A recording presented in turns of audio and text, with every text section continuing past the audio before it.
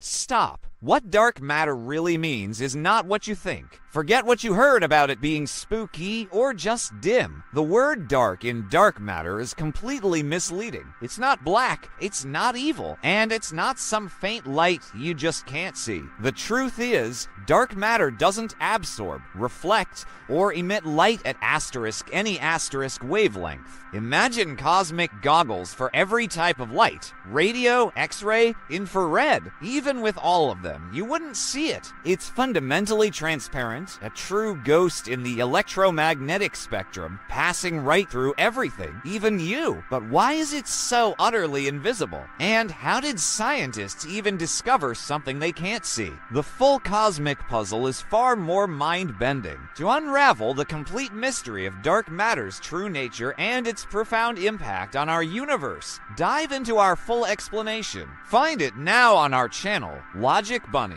your daily curiosity.